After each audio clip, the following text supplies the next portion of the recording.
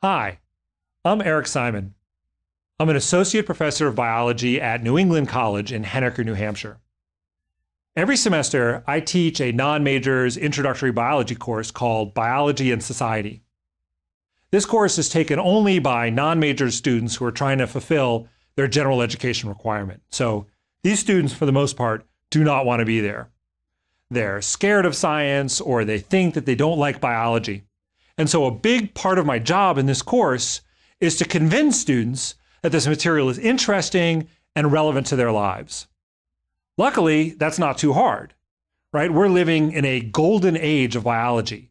There has never been a better time to teach biology, right? I mean, you open up any newspaper or watch any news broadcast, and there is going to be some connection between something in there and what I'm trying to teach in my class. And so I found that students like to learn about what they hear about in their everyday lives. That you can use these issues and these current events to grab students' attention, to hook them, and to draw them in in a way that allows me to then teach them what it is I really want to teach them, the core content that I'm interested in communicating. For example, I really want to teach my students about biological macromolecules and basic chemistry, so I use a hook of nutrition. If I want to teach them about DNA structure, I'll use a hook of forensics, because students are very interested in that.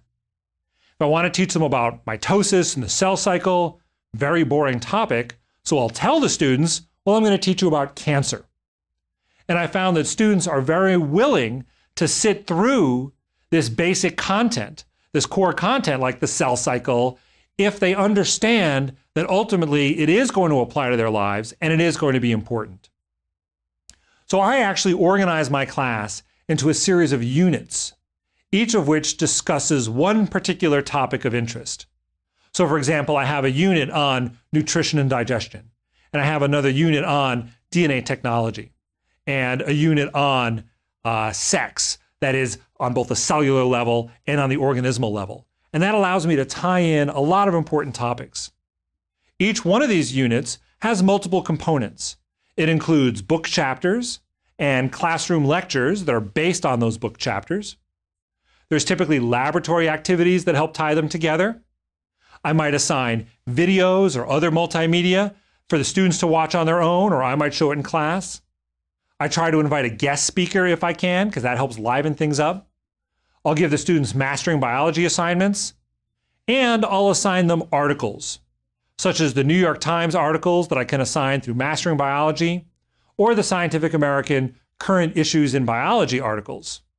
And I find that students are much more willing to work their way through these articles and to discuss them in class if they clearly see the relevance to their own lives. Now, in addition to the units that I put on my syllabus, I allow my students to vote on what issues they would like to learn about.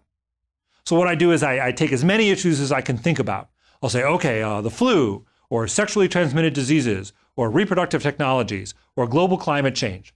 And I create a big list of about 30 or 40 of these issues, and I put them up using a survey tool, either the, the survey manager in Blackboard or WebCT or an outside service like SurveyMonkey. I then assign the students to go and take the survey and vote on those topics that they would most like to learn about. Whichever topics get the most votes, that's what I do. So typically, I'll spend three weeks teaching a unit that I want the students to learn about, and then one week teaching a unit that they want to learn about know, I think this helps empower the students to feel like they have some control over their own learning and is, of course, much more likely to hit on a topic that truly is interesting to them. And once you've done that, I think it's much easier to engage these non-major students in discussions and active learning activities and other you know, tools that we like to use in the classroom in order to help them learn this material. Please, if you'd like a list of uh, you know, my ideas or a copy of my syllabus or course schedule, please go ahead and contact me using this email. Thanks for watching. I'm Eric Simon. Good luck with your class.